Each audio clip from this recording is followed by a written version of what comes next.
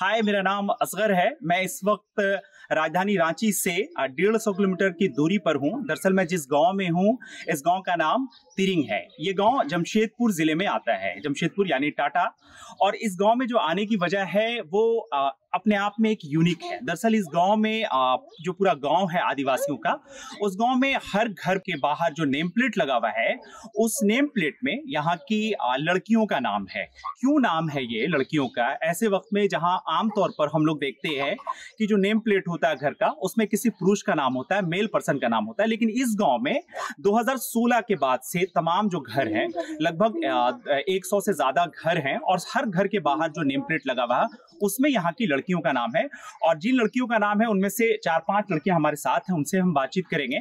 सबसे पहले आप बताएँ दीदी आपका नाम क्या है? मेरा नाम सोनामणि सरदार है। हाँ।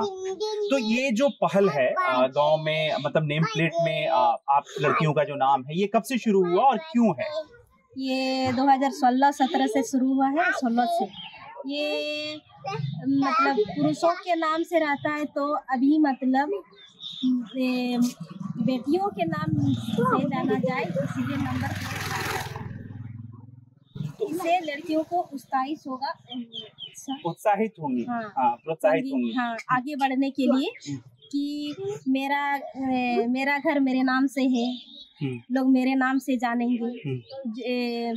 जो क्या बोले पहले तो बेटियों को अपना नाम से नहीं जाना जाता है ना ये किसकी बेटी है ये फला की बेटी है तो अभी मतलब कोई भी आएगा तो पूछेगा कि मतलब हमारे नाम से मेरे माँ बाप को जाना जाए।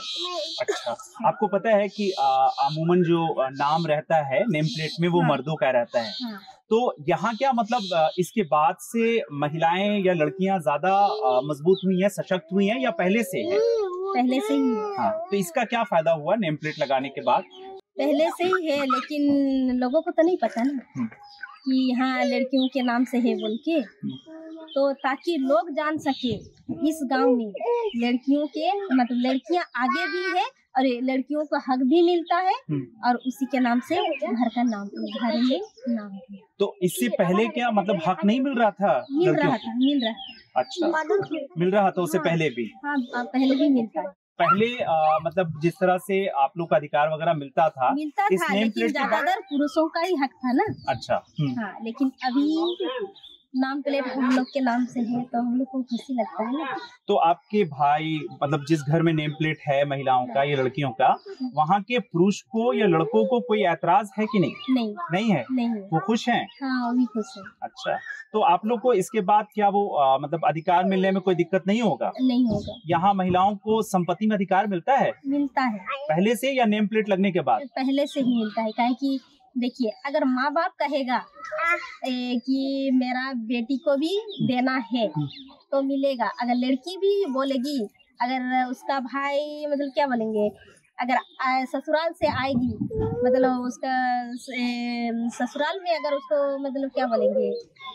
अगर जैसे कि अच्छा नहीं करता है ना? हम्म, हम्म। तो उस टाइम वो बोल सकती है कि अब हम घर मायके आएँगे तो आप लोग मेरा ये नहीं करते हैं तो मेरा हक तो, तो इससे इस गाँव में बहुत खुशहाली है? हाँ है। अच्छा मेरे साथ एक और है। आपका क्या नाम है? शेफाली सरदार शेफाली आपका भी मैं देख रहा हूँ कि आपके घर पे आपका नाम है। क्यों आपका नाम दिया गया?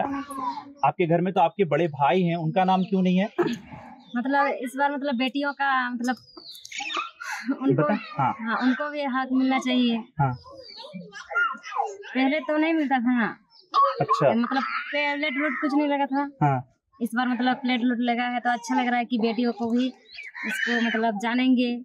घर जो है वो बेटी के नाम से भी जाना जाएगा। हाँ, पहले तो नहीं जाना जाता था ना। अच्छा। हमारे साथ दो और बच्चियाँ हैं। इन दोनों का भी जो नाम है दोनों का नाम नेम प्लेट में है। इनके घर पे के बाहर जो नेम प्लेट लगा हुआ है, उसमें इनका नाम है।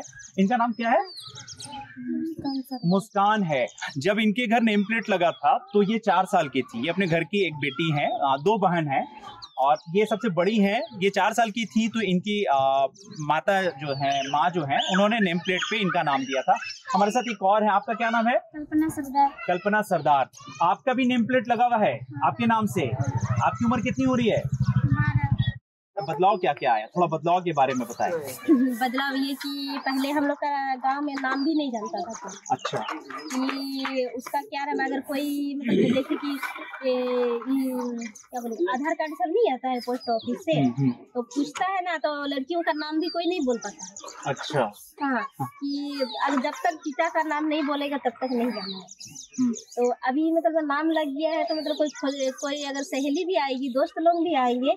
या अगर बोल देंगे ना, मेरा नाम लिखा हुआ है तो उन लोग तुरंत खोज लेता है हम लोग का। पहले खोजना पड़ता था, अभी नहीं। अगर अभी कुछ भी आएगा हम लोग का घर, गाँव तो जिसका नाम से रहेगा देखेगा नाम प्लेट है तो तुरंत उसका, उसको ढूंढना भी पड़ता